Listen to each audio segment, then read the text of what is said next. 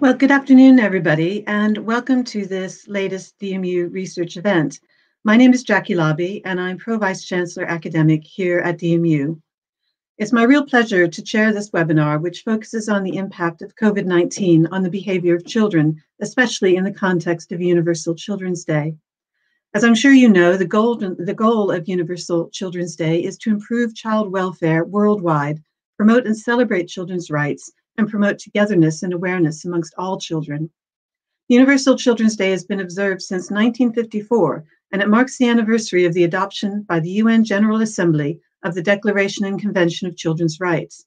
The convention sets out a number of children's rights, such as the rights to be protected from violence and discrimination, and the rights to life, health, and education. Obviously, we have all been impacted so much by COVID 19, and in many ways, our children are feeling that impact um, really heavily in terms of their education. So, today we have five expert DMU scholars who will deliver speed lectures, followed by a panel discussion and then a Q&A session. So, I'm really pleased to be able to introduce to you our first two speakers, Dr. Helen Coulthard, who is a reader in lifespan eating behavior and Dr. Vicki Aldridge, who is a VC 2020 Senior Lecturer in Psychology, and they'll be speaking to us about the Sensory Play Toolkit, a fun way to help children try new foods. So I'll hand over now to Helen and Vicki. Hello. Hi.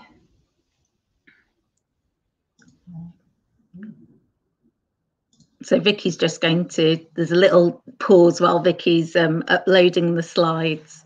Um, okay. Are they visible? Yes. There we go.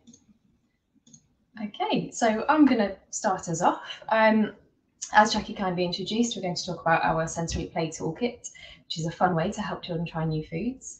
Um, so you're going to hear from me and from Helen today, but I'd like to start by also thanking our collaborators, so Maxine Sharps, Louise Cunliffe and Sean Ryan, um, and our wonderful illustrator, Charlie Evans. So the idea for this toolkit um, came around from uh, the particular need that we saw um, in children's eating. Um, and so the toolkit is designed to help parents with children who are seen as picky, fussy or avoidant eaters. So they tend to have quite a restricted diet and they'll be quite particular about what they eat, when they eat, how they eat.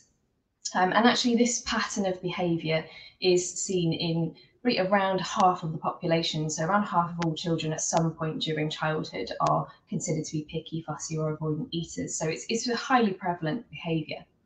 Um, and it exists on a continuum, so um, ranging from the, the, the, sort of everyday um, fussiness right through to, to quite extreme um, avoidant eating and uh, eating a very restricted diet. Um, and in recent years, that has been identified as a clinical disorder, so known as avoidant restrictive food intake disorder or ARFID, which was first recognised by um, the American Psych uh, Psychological Association in a DSM in 2013. Um, and ARFID is thought to um, affect around 1 to 2% of the population, and it's a lifespan disorder, so it's not just in children, but the little that we do know, we tend to know much more about ARFID within the child population.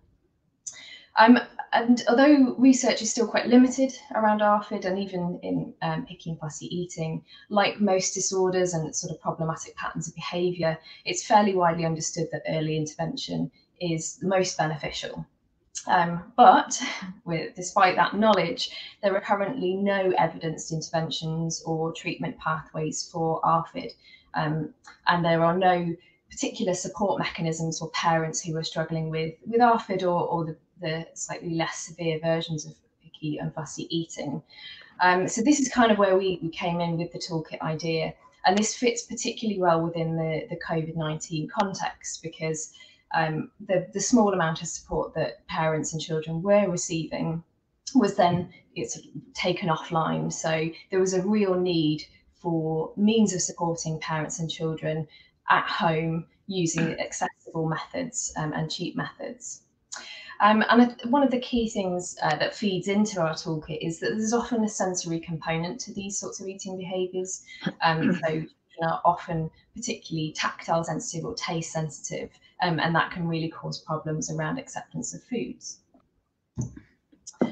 Um, so thinking about sensory play and food acceptance, so the, the background literature really for um, the toolkit came from theoretical and empirical research. So um, we, it's been widely identified that familiarity with a food is one of the key motivators and mechanisms for acceptance.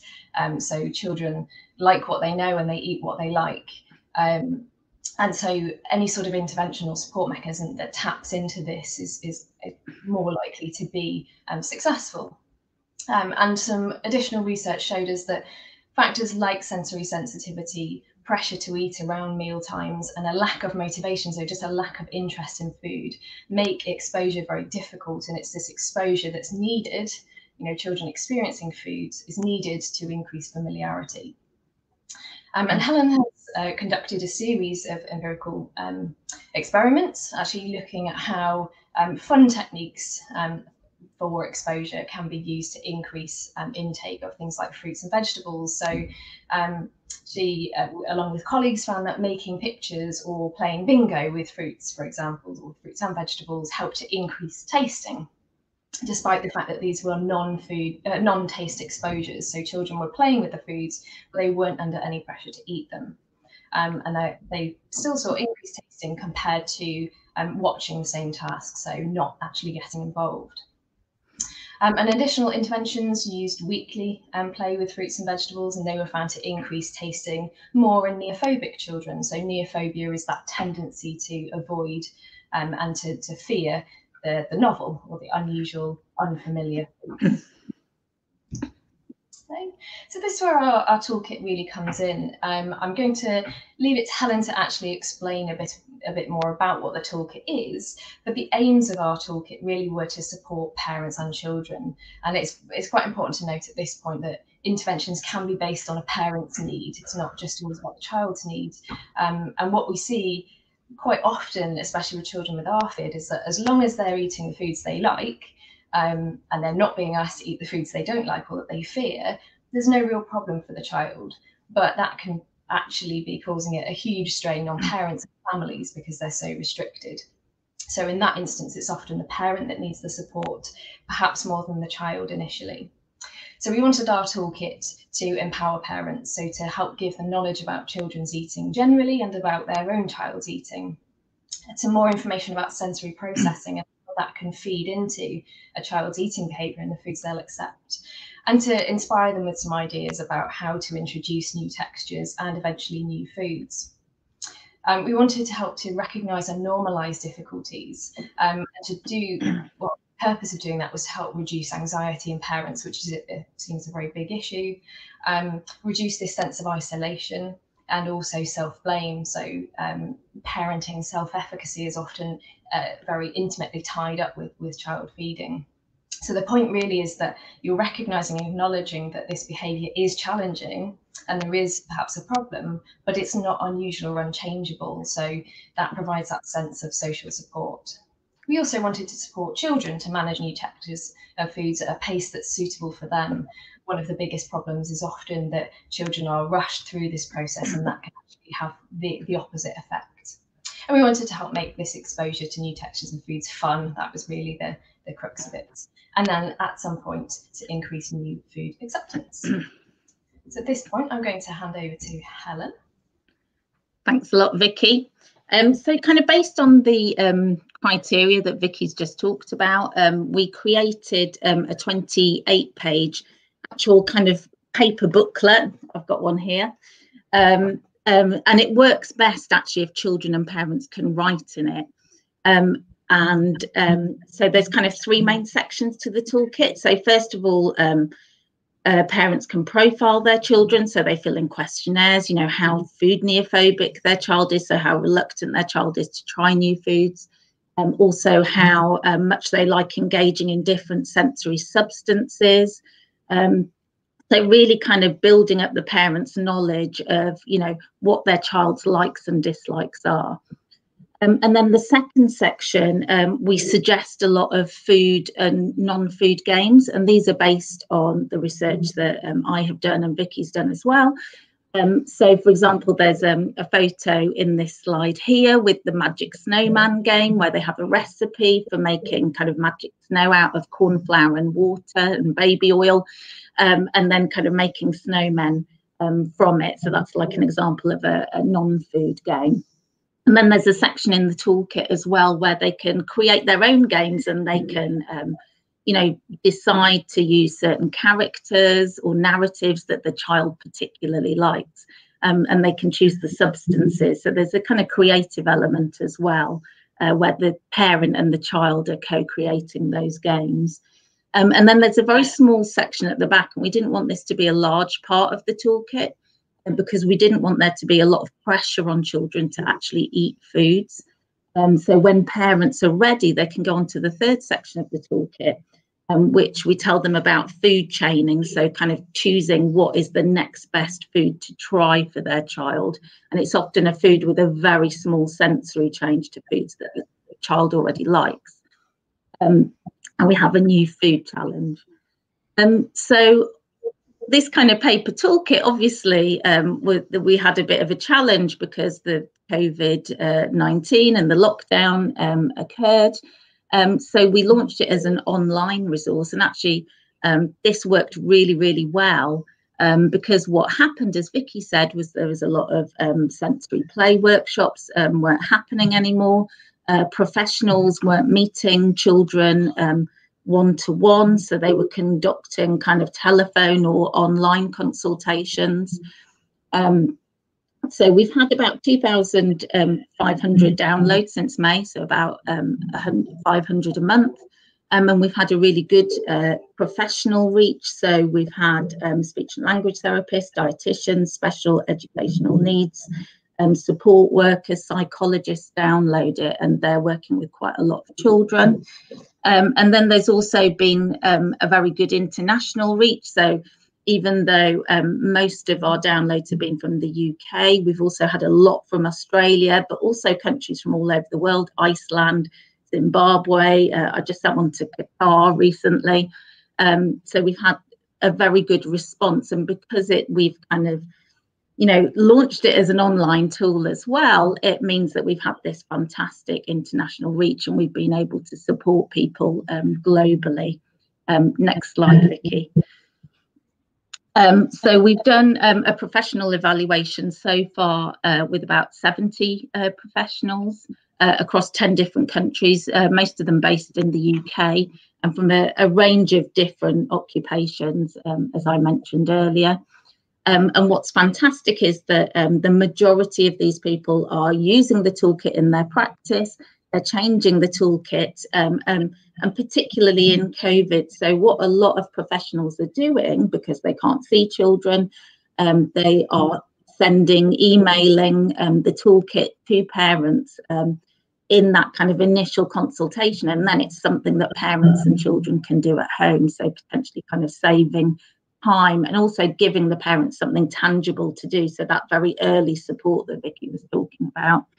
Um, we've included um, a couple of quotes from professionals. So you can see it's kind of really helping them uh, kind of reduce the kind of consultation time because otherwise they would have to explain how to do all these things to the parent um, and also how they've used it during COVID, um, especially when their kind of groups are being cancelled as this kind of extra uh, resource for support. Okay, next slide, Vicky. Okay, so um, some of the implications, I realise we're kind of running out of time a little bit. Um, I think what's really clear from the pandemic is that we sometimes have to help uh, parents and caregivers um, to help themselves. And there's a real need for these kind of low cost, engaging um, interventions that aren't relying on professionals to be there all the time. Um, so, I, and I think there's a real need for this. Um, and feedback that we've had so far from professionals is that they want more toolkits. They want them for um, younger children as a kind of preventative measure, uh, for older children and adolescents um, who really suffer quite a lot socially if they if they have ARFID or picky eating because it's very difficult for them to socialise if they're not eating most of the foods their friends are. Um, and then also because a lot of our professionals are working with children on the um, autistic spectrum, then um, to have these kind of slightly varied toolkits where um, maybe the games aren't quite as imaginative and they're more tailored uh, to children's kind of play preferences. And there are currently no NICE guidelines for treating ARFID or picky eating in the UK, um, even though this diagnosis has existed for 10 years now. And um, there's still none of these really nice pathways um, to kind of support parents. Um, um, and we really need an evidence base for these uh, treatments, which we're currently carrying out some research on our toolkit. Um, and these kind of the kind of this evidence base will hopefully encourage uh, future policy change in this area and support parents more. Um, next slide, Vicky. Okay, just to say um, thank you for listening. Um, you can, um, if you want a copy, um, you can download the toolkit from our website, um, which is the electronic version, or if you email one of us, um, we will be quite happy to send you a complimentary paper copy. So thank you very much for listening. Oh, yeah, so we're now, I'm now going to introduce the next speakers. Um, so this is Sapphire Crosby, who's um, a doctoral student, and uh, Professor Sarah Younie in education. Um, and they're going to talk about the fantastic journey. So thank you. Hello and welcome. Thank you for joining us today. It's a pleasure to have you with us, and it's good for us to come together to celebrate Universal Children's Day. We'd like to share with you our project that's making a difference to children's lives around the world. My name's Professor Sarah Younie, and I would like to introduce Sapphire Crosby, who, as Helen kindly said, is undertaking her PhD research on the Germs Journey project. I'd like to start by explaining how the project came about. And it actually started with one conversation. And it was a conversation between a scientist and an educationalist. And that led to the project that's impacted children in the UK, India, and West Africa. So it began when microbiologist Dr. Katie Laird, who's the head of infectious diseases at De Montfort University, was toilet training her son. And she realized there were very few books to help. And of those books, none at that time stressed the importance of hand washing. Now, with her being a microbiologist, she knew that was very important, and her son wasn't understanding the idea of germs being on the potty and on the toilet. So we connected at Montfort University and we created an interdisciplinary research team. And our vision was to create a set of resources to help children around the world understand the concept of germs, germ transfer, and why children need to wash their hands, as well as improving their actual behavioral techniques to wash their hands. So this is the story of Germ's journey, and I'm going to pass on to Sapphire. Okay, so as Sarah um, just said, the aim of the Germ Journey project is really to raise awareness of health hygiene for young children and to give children a better understanding of germs and hand washing. And we do this by creating interactive educational resources. So our mission really is to make Germ Journey resources freely available and at the point of access to children, educators and healthcare workers around the world. Um, so as Sarah just said, we are an interdisciplinary team of academics, researchers, educators, healthcare workers, and students. And all of our resources are co created with our inter international partners um, to children, teachers, and parents as well. Um, so we've developed a range of educational resources, including books, um, online games, posters. Um, for young children and also um, resources for parents and teachers to be able to educate their children as well. So the idea of co-creation was really important to us and it's interesting because Helen and Vicky talked about working with a graphic designer called Charlie Evans, and the artwork you can see in front of you is also Charlie Evans' work. So she was a DMU student undertaking an art degree with us. We had, as I said, the microbiologist, we had myself as the educationalist. We came together to create a book for young children, and we were informed by child development theory. So in particular, we use the work of Piaget and his theory of cognitive development. And we know from Piaget that children do not develop abstract thinking until they're about 12 years old. So this means for young children, they do not understand germs. Germs are invisible and abstract. So if young children cannot see them, for them, they don't exist. So for this reason, we wanted to have a visual representation of the magnifying glass to show that germs are there even if you can't see them. So we worked with students to carry on developing the project, developing the resources, and we also took the students out to India and Sierra Leone with us to create the resources relevant for those countries. And I'm going to pass back to Sapphire. Um, so as Sarah just said, we originally developed the book and the resources for the UK. Um, we were working with schools in Leicestershire and the East Midlands with the view to improve children's hand washing behaviour and understanding. But we knew that, of course, globe, uh, hand washing is a global issue, and we knew that it was important to target other areas as well. So, with this in mind, we have developed resources for a range of countries and regions across Africa, Asia, and Europe, and have developed these in 10 languages so far. So, our focus has been particularly on India and West Africa, um, and the project is underpinned by the philosophy of co creation. And the whole ethos of the project um, centres on joint collaboration so working with partners from a range of disciplines and a range of countries. Uh, so when we were developing the books for India and West Africa, we worked really closely with the communities and with the um, children teachers in real, really rural areas in the Gujarat state of India and in Sierra Leone, um, because we realised that we needed to make these resources culturally authentic for their areas. Um, so we, as Sarah mentioned, we took a research trip to Sierra Leone um, last year in uh, June last year, and we worked alongside uh, University of Makeni, and we also took um, so myself, Sarah went, and also we took a DMU photography student and a English language uh, master's student as well. Um, we worked with the local teachers and children in order to see what types of pictures and information uh, that we should include in the new um, West Africa version of the book. Um, so as you can see, we um, in this page we added um, the types of water that should be used, and this really came from one of the focus groups where, when we were discussing with the teachers what sorts of information we should be using, they said that this was really really important. Um, we also added a picture of a step-by-step -step guide on how to wash hands, which again um, came from the focus group and was taken by one of the DMU photography students that we took with us. Um, so as part of the project, we developed a workshop intervention using the Germs Journey resources, and this workshop takes a structured carousel approach um, in which small children, uh, small groups of children move around um, and they go to each different activity. Uh, the workshops were designed to be interactive and were underpinned by Kolb's theory of experiential learning.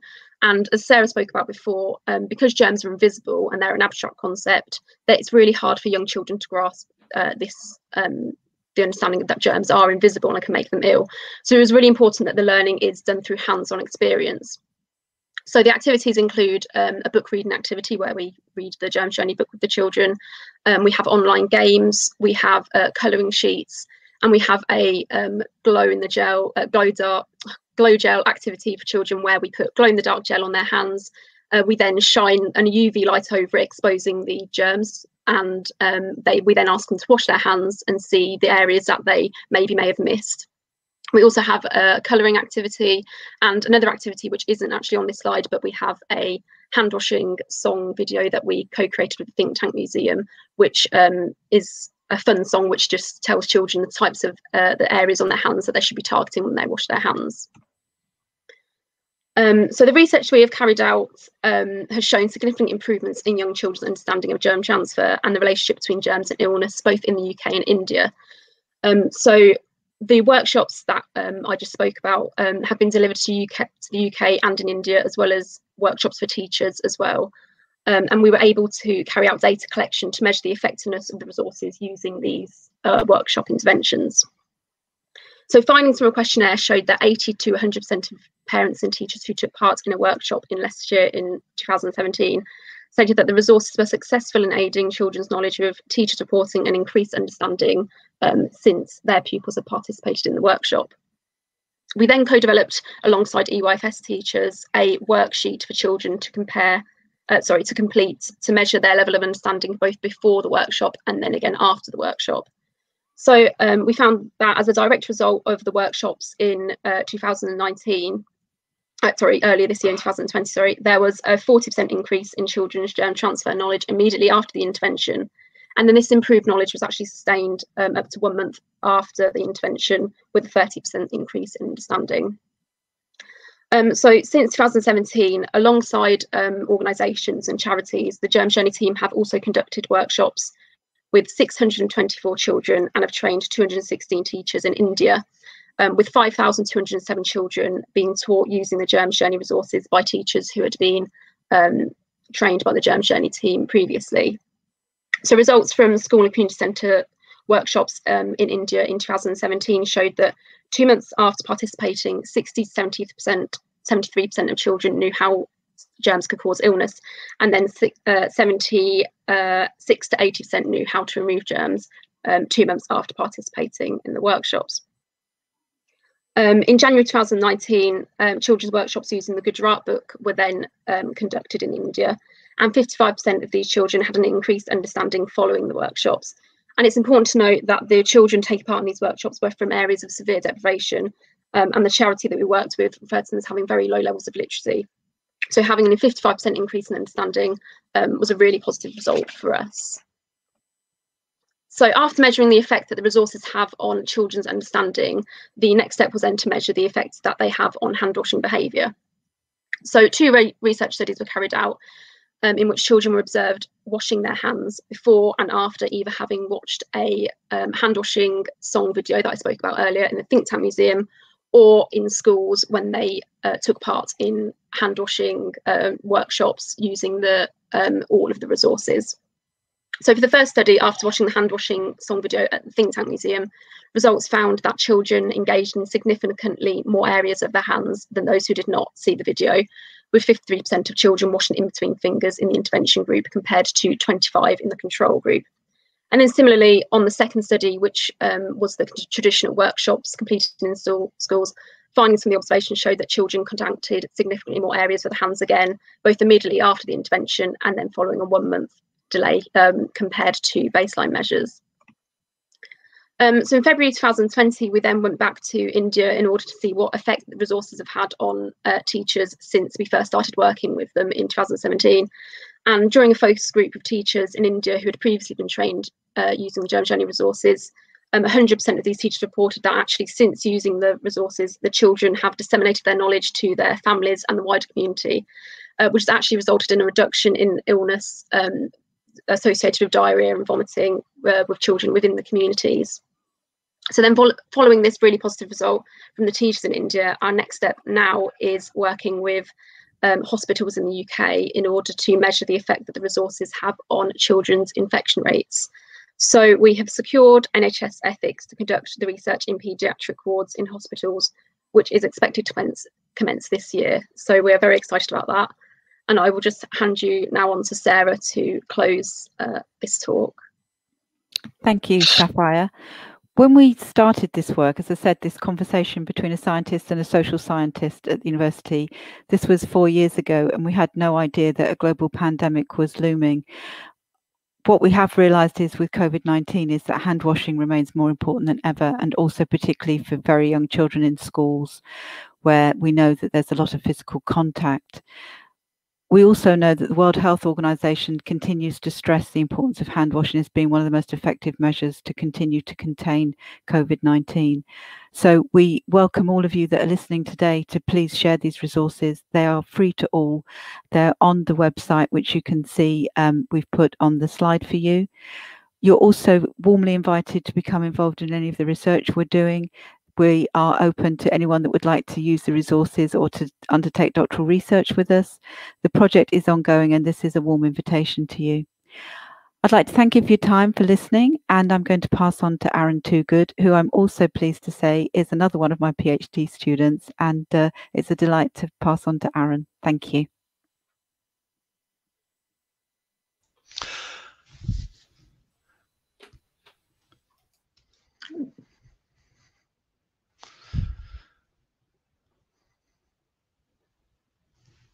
Good afternoon, everyone. Um, I'd like to begin my presentation uh, by showing you a particular uh, political cartoon. Now, it's, it's not funny. I don't think it's meant to be funny, but what it does do, it, it informs us very well um, uh, about what this term I've got on the slide, intergenerational transmission, actually means. What you can see is that um, the parents of a child are handing on, um, are transmitting between generations either riches or uh, poverty. And data from about 10 years ago showed that around 50% of children born in the US into low income families will end up being low income adults themselves. And in the UK, that was about 40%. Um, and as the inequality in a society increases, so does that transmission. So does um, uh, that tendency of poverty being passed from one generation to another. Now, if we have a look at the impact uh, of this um, transmission of this poverty, uh, there, there's lots on the slide. I'm not really going to um, go into detail, but we can see that inequality in a, in a young person's life will impact on their educational attainment, their well-being as an adult, their income, even their mobility um, and even their psycho um, social adjustment. And Ferguson concluded um, that children born in socially disadvantaged families will have poorer health, education, and general welfare. So this places the conditions of a person's birth, the postcode of their first home, if you like, as being the single biggest factor determining many of their life outcomes. So, what makes this so persistent, um, this um, transmission of poverty?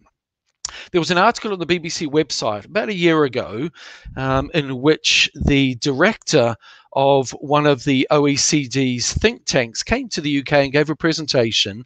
And in that, um, from his research, he showed that when you spoke to a seven year old about what their career ambitions were, and then um, spoke to that same child 10 years later when they were 17, the ambitions hadn't really changed.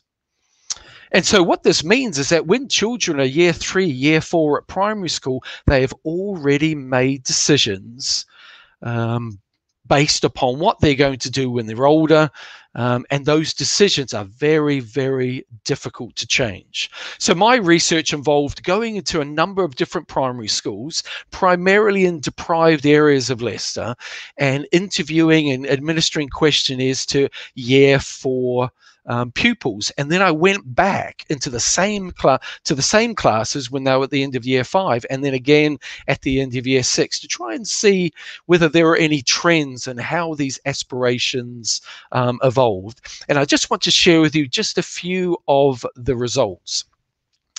So the, the first diagram I'd like to show you is to do with um, how optimistic some of these children were. Now, I don't want to go too much into the data, to be honest. I'm really just wanting to talk about the trends today. But each of those colored dots represents um, a particular group of careers that have something in common.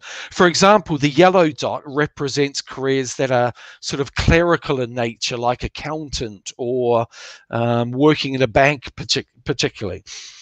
And you'll see that on each diagram, there are two dots the same color, one with an arrow pointing to the second. The first dot is uh, the data that was obtained when the children were in year four, and the second dot uh, when they were in year six. And so you can see this journey uh, that their aspirations are taking. Now, um, th there are two charts on the slide. The first one refers to um, the children who feel very uh, good about their own academic ability. They have a high level of self belief. Whereas the chart on the right are children whose self belief academically is very low. What we can see is that if we just look at the year four data points, there isn't really any significant difference at that age. But as they move from year four into year six, when all of the pressure of assessment and everything comes on them, the children who feel good about themselves have higher optimism But in order to interpret these charts, if the data points move up and to the right, that's implying greater levels of optimism.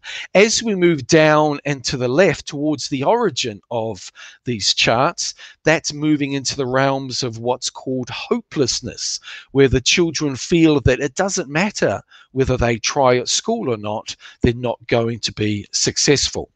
And what we can see is that the children with low um, with low levels of self-belief feel hopeless in um, with regards to many careers as they leave primary school and move into the difficult, challenging um, environment of high school.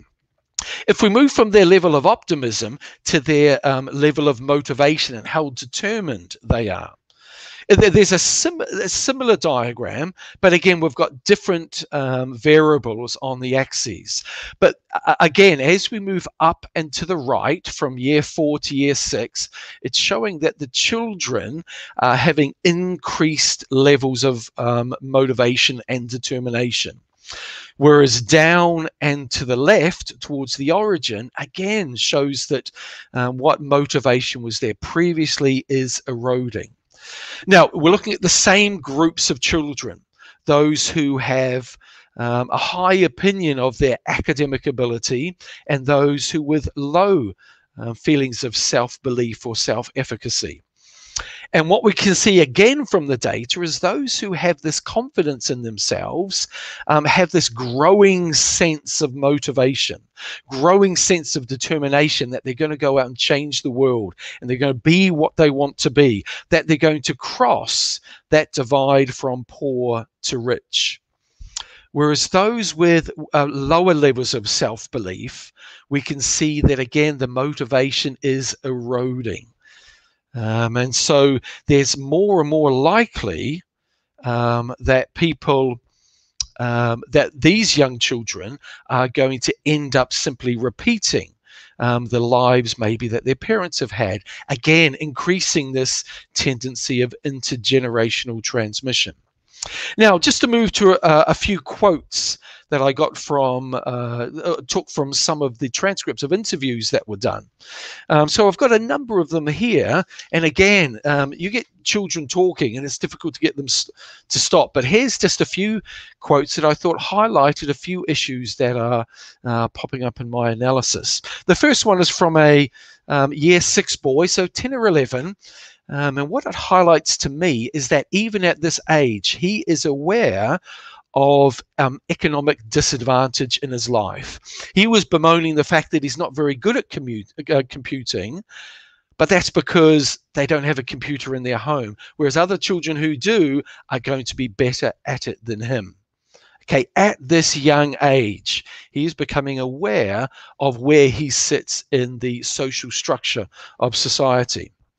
The second quote um, illuminates sort of the unrealistic view that some children have of particular careers, and also it gives an implication as to where they may be getting their ideas from. This young boy um, was saying that all a police officer does is fire pistols at people who are doing something wrong.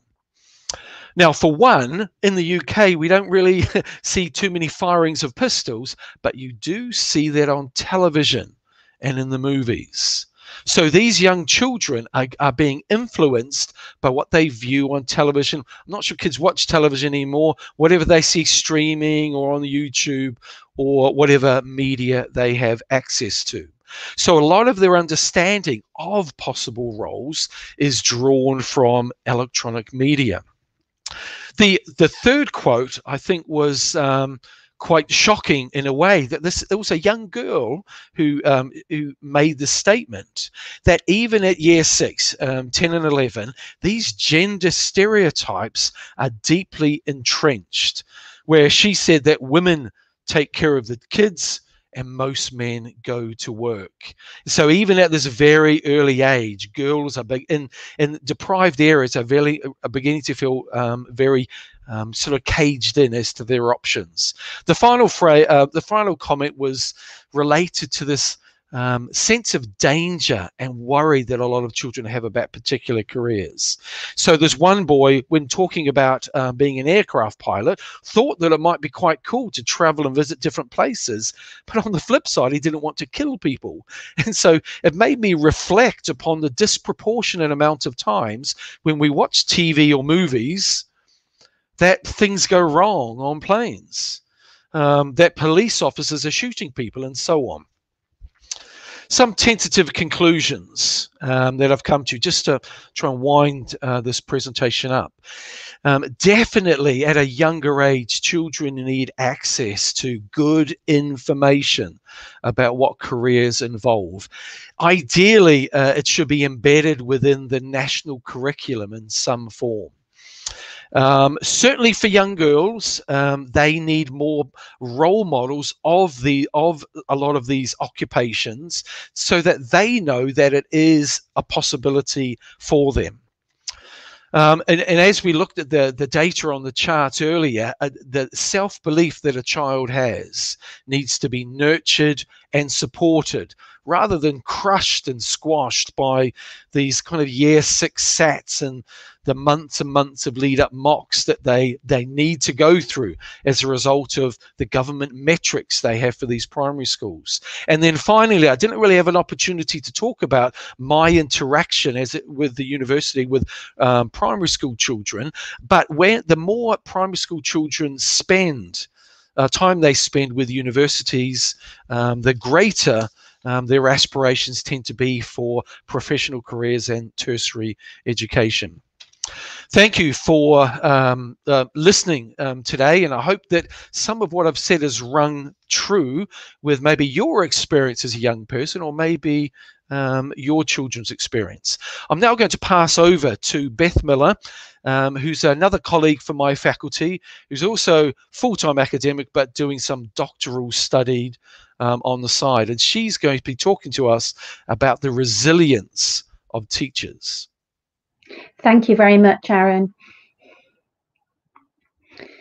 Hello, um, I'll just wait for my slides. Um, this research is, is, actually taking it from a different angle because um, obviously teachers have a big effect on children and their learning. So this is looking at the resilience of teachers um, that manage to stick it out, an exploration of the notion that teacher resilience is the key to addressing the teacher attrition rates. Next slide, please, Krishna. This research aims to discover through exploration of the stories of serving teachers and teaching professionals is whether the key to addressing higher teacher attrition rates is to ensure that those entering the profession are trained to be resilient. According to the figures from the DfE in 2019, there were 43,406 full-time equivalent teachers that entered the profession in England. But in that same year, 39,675 left. And from the exiting figure, only 5,979 of those were retiring. This, inev- this inevitably disrupts the learning and progression of students and the staff cohesion within schools. What this research aims to explore is whether these attrition rates are high because teachers do not have sufficient resilience, or whether there are other factors that contribute to the annual mass exodus from the profession. It aims to explore whether there are factors that create barriers to teacher resilience that aim that need addressing and more investment rather than resilience development. My motivation for this research comes from my professional background as a teacher. Throughout my 23 years as a teacher and school leader, I was acutely aware of the high degree of teacher absence and attrition, and I witnessed the impact it had on student behaviour and progression. Having experience in schools that had a, a low deprivation measure and those that had a high deprivation measure, I was aware the turnover was greater where deprivation was higher. I am motivated to explore whether my experience is unique or more commonplace. What my personal experience has indicated, however, is the need to address this problem to ensure that all students are getting the level of education they are entitled to.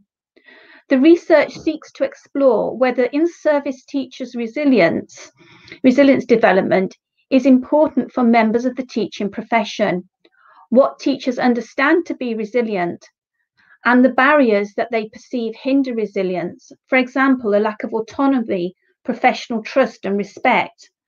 Further, it seeks to investigate the reasons teachers believe their colleagues opt to leave the profession before retirement age. Next slide, please, Krishna. Christopher Day, either independently or in conjunction with other academics, has focused on the issue of teacher resilience, and he generally advocates that it is a key characteristic for being a successful teacher. However, his work also points to barriers that impact on teachers' resilience, such as leadership and workplace culture being two of the most important factors identified by Day. He further indicates in his work that the constant external scrutiny and accountability emphasized by the media wears away at teacher resilience, resulting in stress and burnout. The work of Day has influenced the direction of this research. Much of the research in regard resilience hasn't been specifically applied to the teaching profession, although the work has, that has related to teaching echoes the bulk of the resilience research. Some of the phrases that have been associated with resilience are bounce back ability, coping, stoicism, reflective, and motivated. This demonstrates the complexities regarding resilience and the need for clarity. There appears to be more consensus regards the barriers to resilience, but also within the research listed, these are the also, these are also reasons provided for teacher attrition, therefore posing the question, will relying on teacher training to create resilient teachers as they enter the profession, in actuality, reverse the tide of high attrition if other aspects of the profession aren't addressed simultaneously. Next slide, please, Karishna. To understand what is happening in contemporary schools and to inform my thinking, I intend to use critical theory this theory allows a reflection on the narrative that is being divulged by the participants and the identification of the barriers and problems that prevent teachers from longevity within the profession. It will provide a theoretical basis for exploration of the policies and procedures that potentially inhibit the freedoms of the teacher's professional judgments that as a consequence demotivate and can result in the early departure from the profession. Glaser, you'll notice, rejects the notion, excuse me, rejects the notion that teachers leave the profession because they lack resilience, but rather that it is a reaction to a lack of freedoms due to the constraints of those within power. Next slide, please, Karishna.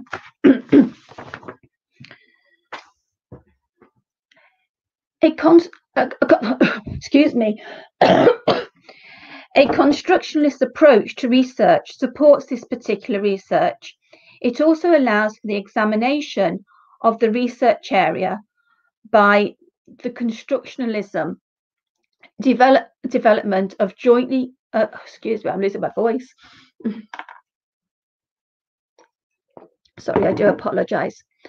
Constructed understandings of the world from the basis of the lived experience, thereby allowing in service teachers at the chalk face to tell their story and through their transcript construct reality in regards resilience and attrition. The qualitative research allows for exploration and opportunity to listen to the real life stories of teachers at the chalk face. Next slide, please, Karishna. These are the preliminary findings so far. Um, I've only at the moment had managed to start um, the investigation and spoke to about 10 teachers, but there is an interesting pattern that's emerging. um, one of the interesting things that seems to emerge is that teachers have to be resilient to teach, is what they're saying. Uh, this is needed from the onset, and all teachers believe that they are resilient. Teachers exit the profession because their resilience has been eroded because they are not they are stressed and tired. Teachers stress that tiredness is the tiredness is the result of a lack of respect and trust, a lack of recognition, a negative relationship with the media, top-down pressures, pupil behavior, excessive accountability, and the fallacy that one size fits all approach to educational policy. Teachers who stress the importance of people relationship and leadership type with the individual school, teachers are more likely to quit the toxic school. Teachers interpret resilience as being able to cope, bounce back, bounce back ability, to be able to keep going and be reflective in your practice. Most teachers, though, do believe that they have autonomy, but interestingly state that when the door is closed, I do my own thing, but when I'm being observed, I stick to the prescribed ways to teach. Interestingly, emergent um, theme that I will continue to look out for throughout this investigation is this notion of the toxic school. However, there does appear to be some clarity currently on what resilience is for teachers. Interestingly, has been overwhelmingly belief by teachers that they are by nature resilient and you cannot teach if you are not resilient. Early indications, therefore, that attrition is the result of other issues that cause the erosion of resilience. Preliminary findings are also indicating the negative impact for schools, teachers, and children of the COVID pandemic, having a similar impact on teacher confidence and morale as, as a less than satisfactory Ofsted outcome, uh, was said one of the participants. For health and safety and general well-being, school leaders are having to make more a more directive approach to leadership, reducing teacher autonomy and a considerable amount of leadership time is being taken to complete the track and trace systems. These are only three of the issues reported. There are a lot more. One positive, uh, one positive belief by teachers is that they do have slightly more respect and trust from parents because of them having to teach their own children during the first lockdown. lockdown. Next slide, please, Krishna. So, what this um, investigation is hoping um, to contribute to knowledge is to identify topics for discussion for future research that aims to have an impact on policy, to build on existing resilience literature and research by providing a context within the schools, to build on existing literature and research on teacher attrition by exploring potential link between personal resilience and teacher stickability, and to explore more and introduce this notion of the toxic school. Next slide, please, Krishna. Um, thank you very much for listening, and I will now hand back to Jackie Labbe.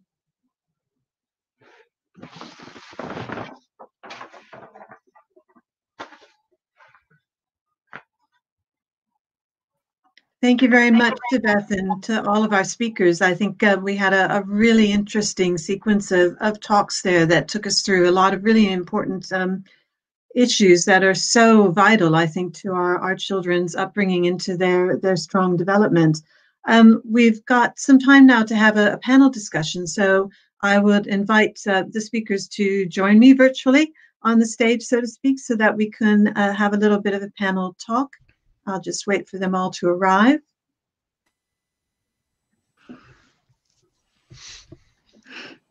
So welcome back, everybody.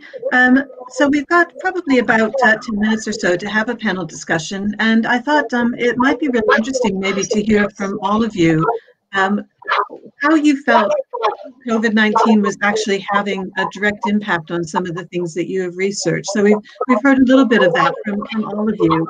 But I think in terms of the background research that you have done and any uh, thoughts you might have about the impact on on that on your work that COVID-19 might bring. Um, maybe if we just go in the in the order that we heard the talks in. So maybe um, Helen and Vicki. I mean, I, for instance, would be particularly interested to hear um, if you think there might be anything around um, the lockdown, for instance, and possibly the the lack of accessibility to certain foods that might might contribute to or exacerbate some of the things that you were describing. Um, yeah, well, we're actually carrying out some research at the moment about that. So, um, because we have a PhD student who's specifically looking at parenting um, children with Hickey and ARFID, and she's got data from before lockdown, so and the COVID 19 pandemic. So that'll be interesting. Um, Vicki and I know quite a few clinical psychologists as well who work with children um, with these issues, and I think uh, one thing that I think is probably relevant um, to a lot of the speakers to talk about is actually that for some children, um, COVID 19 was quite an anxious time. Um, things were changing, things were different, you know, their, their usual routines were upset. And because um, picky eating behavior, behavior is very strongly associated with anxiety, um, then you can understand uh, for some children it would exacerbate their symptoms. And there are some children that are having an onset of problems as well um, as part of a kind of anxiety response. So I think that issue can't be understated and that people actually need more support, even though a lot of those kind of support channels have been disrupted. Um, I don't know if you wanted to say anything else, Vicki. Um, I was just going to really reflect on Jackie's particular point about food availability, and it's yeah. another thing that we're sort of interested in, particularly for children at the very extreme end of the spectrum with the more ARFID um, disorder type eating behaviours. They're often eating sort of fewer than 10 different foods. Um, and that's by foods, we, we often mean a particular flavour of a particular brand of crisps um, might be one of their foods. Um, and so there's often a fear around brands changing recipes, changing labels, particularly with the, the overlap with children on the autism spectrum. Um, so, uh, you know, safety is projected through how a food looks and how it smells and how it tastes. So, I imagine, particularly early in the pandemic, when there was a lot of panic buying and, and food was much more scarce, I certainly anecdotally would, would suggest that that was an anxious time for parents and children who may have been old enough to be aware that those foods might become much less available. So mm. yeah, it's very likely that it would have had a, a the direct impact as well as the the uh, slightly more indirect impact. It's really interesting, and I, I because we've had various stories about very, people doing newly domesticated things around food production, for instance, more home baking, and you know maybe a more of an emphasis on on small vegetable plots and things like that. Is there an opportunity there, do you think, maybe for in this area to, you know, in a way, acclimatize kids to to where food comes from and how they can actually have control over the say the production of their own food? Do you think there might be something in there that maybe almost a, a kind of benefit? It's hard. We always we want to find some benefits from COVID. Do you think there might be that might actually help kids? I think people are, um, especially during the first lockdown, they were cooking a lot more at home. They were baking. I don't think that's true, maybe for all families, but I think s- some people were definitely doing more of those things and growing their own foods. And I th- think that would be a very positive thing for all children. Um, whether it's really interesting. So these kind of be- these coping behaviours that uh, a lot of people generated, especially during the first lockdown um, it'll be very interesting to see if they sustain over time when our kind of norm, normal environments kind of open again. Are people still going to be baking a lot of banana bread, um, or are they going to be going back to the the cafe? So, yeah, it, I mean, we're, we're carrying out some research on it, so it will be actually really interesting to see if things like these children who are quite picky, whether they are actually doing a bit more home cooking or whether they're doing something else during lockdown. Um, but yeah, no, it's a really good point. Thank you very much. Mean, when I turn to, to Sarah and Sapphire, obviously hand washing is now a thing in a way that probably has never been outside, say, you know, clinical medical kind of practices in the past. So, uh, do you think is there something that you might be able to say about has in has has COVID in a way made the discussion around hand washing any easier um, because of the way it's so prevalent, so obvious for everybody now? Thank you, Jackie. Yes, it's certainly raised the profile of the importance of hand washing. What we found with the outbreak at the very beginning in March and April was that one of our partners is VSO International, that stands for Volunteers Overseas, and they work with uh, low income countries. And uh, we would have regular webinars with them. And they said that our posters where we've got very clear step by step guides on what to do for hand washing behavior. They asked us to create a template so they could then distribute it to those countries for the countries to then put it in their own language. So that was one activity that we did straight away um, because Sapphire's already said we'd done 10 languages, but obviously for global reach, we needed a template for lots of languages. So that was one thing we did. Um, is there anything else that you'd want to say? Um, no, no, I think you've answered it already. Um, again, obviously, we've we've known that hand washing obviously been, has been an issue for forever, but um, but obviously with this, the kind of importance of hand washing has really been seen. It's gaining traction, it, so to speak. Um, I was thinking another resource that we found really helpful was that we were invited by the Science Museum in Birmingham to create a permanent display. So one of the levels in the museum has been put over to uh, the Germs Journey, and we did a co-collaborative video of a song, and it was a hands and action song, and we've done that out in India and done that in Gujarati for children.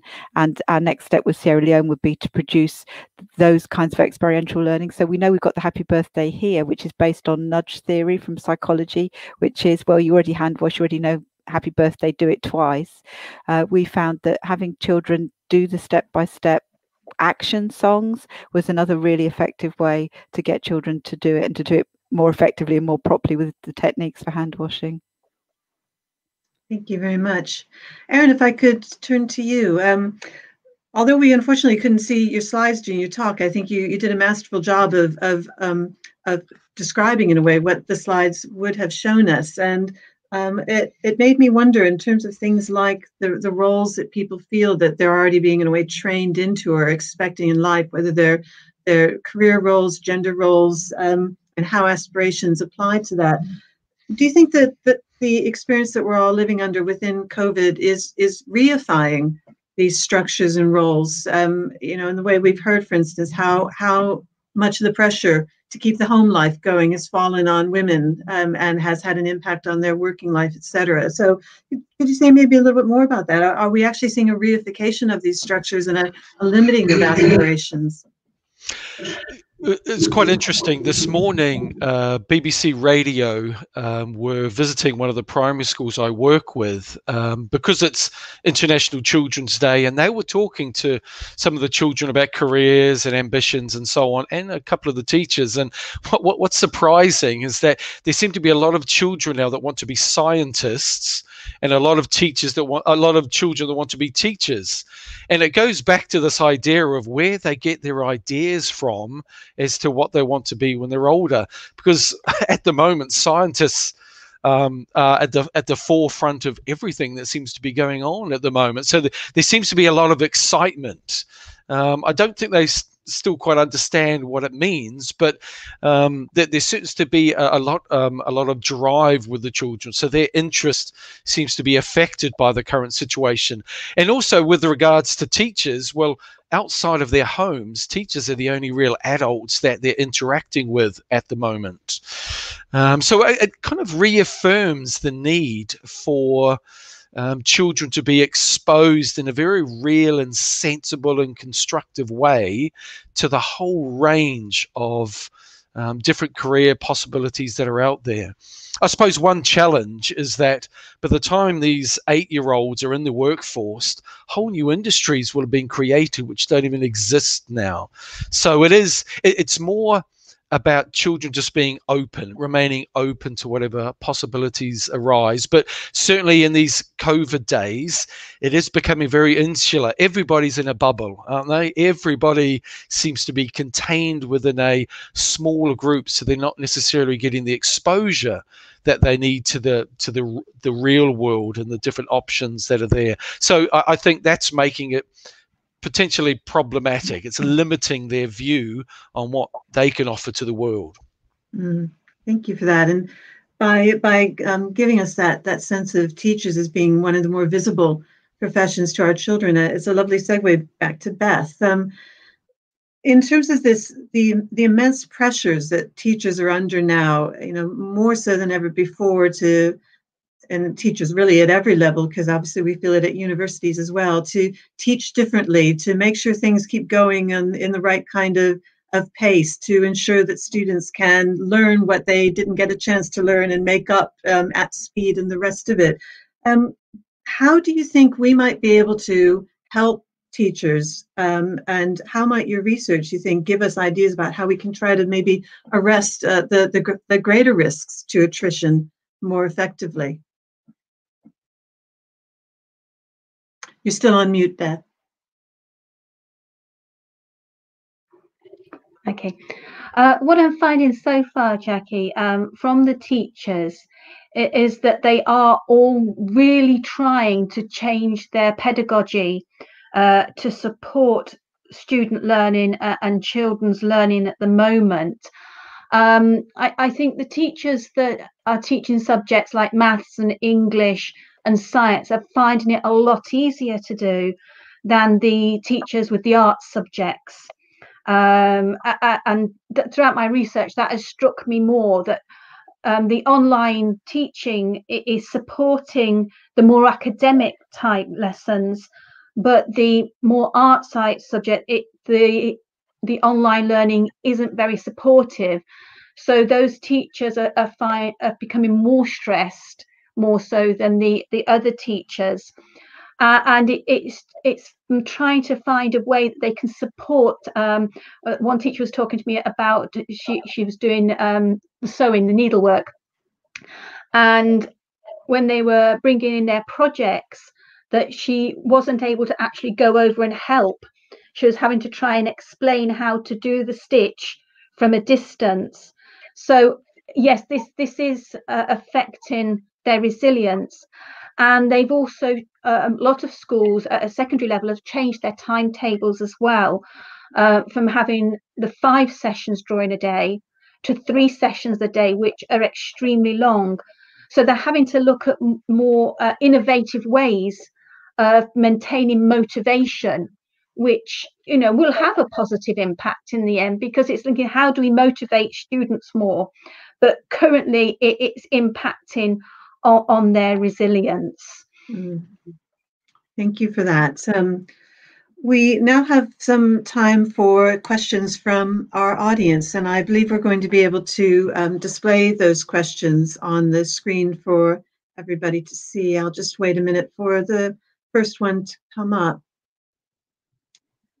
Um, great. So, and we've we've even very helpfully directed the pre-directed the questions. So for Sarah and Sapphire, um, first of all, praise excellent collaborative work. Has there been any examples of children becoming over anxious or worried about germs and ways to balance this?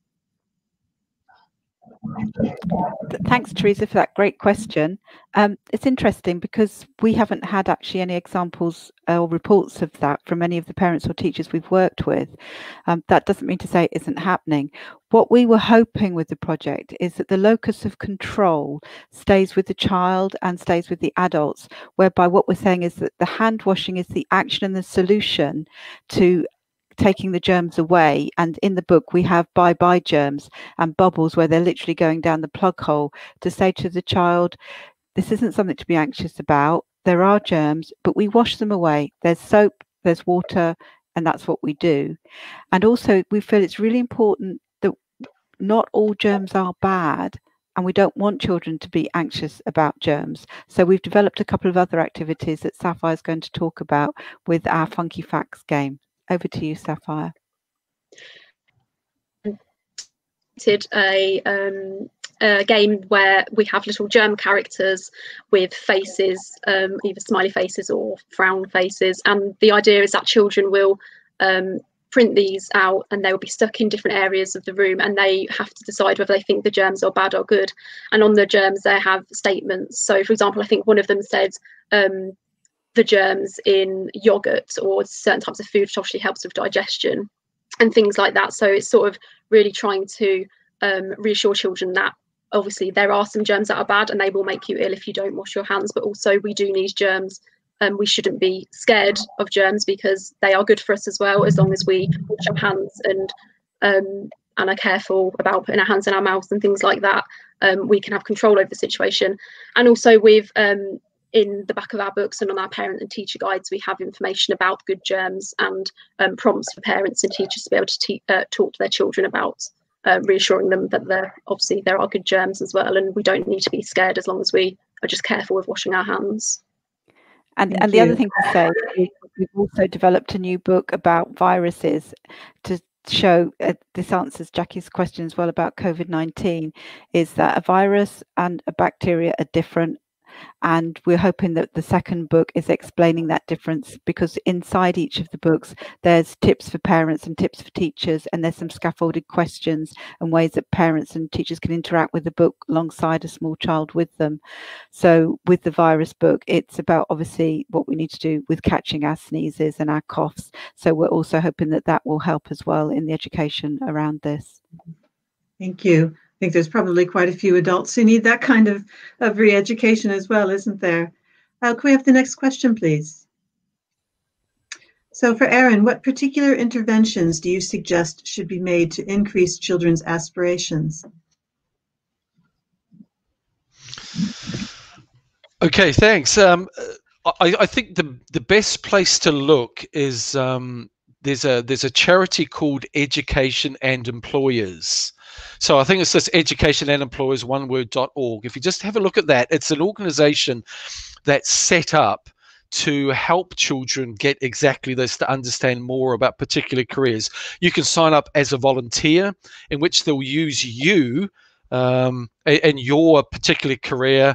Um, and you'll record something or visit schools and give talks about what your role involves, or you can sign up as a teacher and register your school and get access um, to all of these free resources. But where, where, this sits in the national curriculum is really in uh, PSHE. You know, the E stands for economics, and it, but but unfortunately, looking at the curriculum, it, it career and career guidance and education isn't really there and maybe that's a part of the curriculum that needs needs to be developed and certainly needs to be looked at so that it becomes a part of these um, weekly sessions that you have in your particular schools. But um, for, for, me, go to um, Education and Employers, charity, lots of great work, lots of great resources. Thank you very much, Aaron. Can we have the next question, please?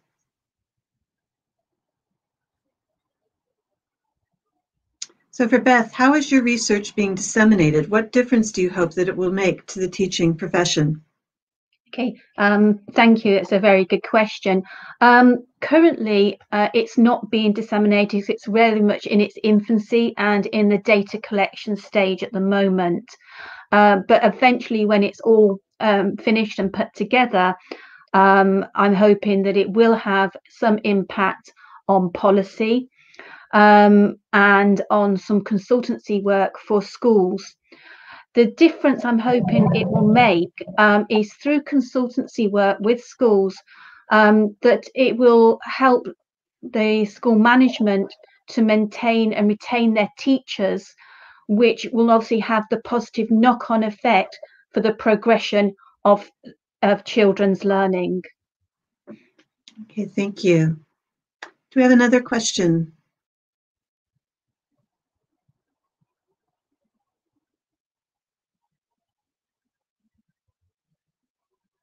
Pregnant pause. So for Aaron again, any recommendations to rebalance and increase aspiration, uh, aspiration um, for young adults, uh, maybe including issues around self-belief? That, that, that's a that's a really tough one. Um, one of my sons is in year ten at the moment, and he's not quite sure what he wants um, what he wants to do um, as a job. And I don't know how many times I've told him, like, once this is over, we'll go to a career fair because all of those great events where you can experience lots of different things have all been put aside. And all he's doing is Googling how much this job gets paid and this job gets paid. Um, so so it, it, it is difficult. The, the, the key is exposure and trying to find um, careers that match with their interests. But in terms of self belief, what a what a difficult challenge that is. If if you asked a teenager to write make a list of everything that was said to them within a particular day, how many of those statements would be positive and how many would be negative? How much of all of this social me- media they interact with, how much of that is giving them positive reinforcement of who they are, and how much is trying to either tear them down or have them try and align with a worldview? Um, so, all, in terms of self belief, we've just got to be positive with these kids and let them know that they're valued for who they are and then and, and try and find things that engage with their interests. And then uh, hopefully once they catch the vision of something which matches what they enjoy or might like to do then then hopefully it's a virtuous cycle from that point.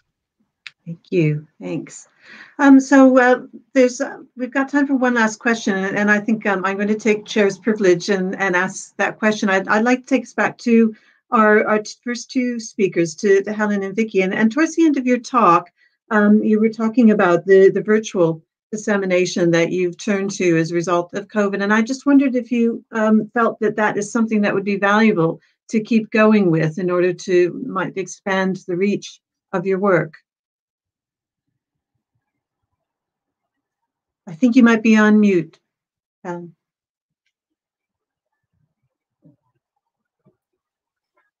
I think because we've had such a, a widespread dissemination, and I think there's professionals working in lots of different countries. I think actually um, it forced us into a route that's actually quite beneficial for um, a lot of clinicians who are working um, abroad. Um, where you know unless you've got some kind of distribution network of your materials it becomes um, quite hard to uh, disseminate um, so in some ways that was a, a positive mm-hmm. that it kind of forced us down that route. Um, yeah. yeah. I would say so. You got anything to add, Vicki? Or uh, no, oh, well, all I was going to say is that obviously when we designed the toolkit, it was very much as a, a physical resource so that children could be filling bits in, parents could be filling bits in, and I, I do maybe personal preference for me. I do still like it as the the primary mode of the resource. Yeah. But as Helen said, I mean, I don't think we could have imagined how quickly and how far it, it would reach um, in being forced to sort of launch online. And uh, you know, as long as people can access the resource for free and they're able to download and print it if they want to. Um, and they can still use it in the same way, even if it's not exactly how we intended. So I think there's definite um, positives to continuing with that that option as well as now being able to offer the hard copies. Just that there is such a need for it as well, that there just is absolutely nothing out there. And professionals are quite often scratching their heads, not knowing what to do um, with these children. So um, I think they've kind of really welcomed it, which has been fantastic. Thank you very much for that. I think um, in many ways, you know, even in an event like today, where I think we're able to reach a, a larger audience, a more far-flung audience um, in this version of, of disseminating research than in the standard kind of maybe a, a smaller conference um, or, you know, everybody having to travel to a, a specific location. So I just would like to uh, start to draw this to a close now. First of all, very much want to thank all of our speakers, Helen, Vicki, Sarah, Sapphire, Aaron, and Beth for a series of really interesting talks um, and really just kind of the, the thrust of everything that you said, I think was was so interesting for us and fits so well within the, the theme of Universal Children's Day, as well as the, the way in which our research is being impacted by COVID. Thank you as well to our audience for coming along and for the questions that you posed. Um, we didn't get to every single question, but um, we can certainly get the answers out to those questioners um, if you if you want to get in touch about that. So um, our next event in this series is on the 2nd of December Um, it coincides with the International Day for the Abolition of Slavery, and the, the overarching theme will be slavery from the global to the local and from the historical to the modern. And I very much hope that you will be able to come back again and hear more from our, our excellent DMU researchers and doctoral students, um, sometimes one and the same, and uh, and really to hear the the kinds of things that people would like to to share about the research that they're doing in that particular area. So do please join us on the 2nd of December. Um, thank you again very much for coming along for today. I hope you enjoyed it. Um, thank you as well to Craig for IT support. We couldn't have done it without him. And uh, I hope everybody does have a very lovely weekend. And maybe it'll even stop raining if it's raining where you are. Thanks very much, everybody. Bye. Bye-bye.